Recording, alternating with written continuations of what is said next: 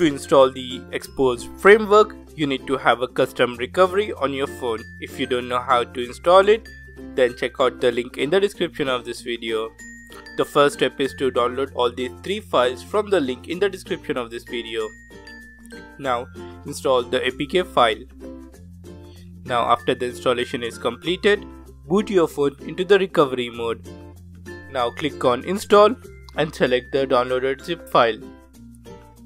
Now swipe to flash.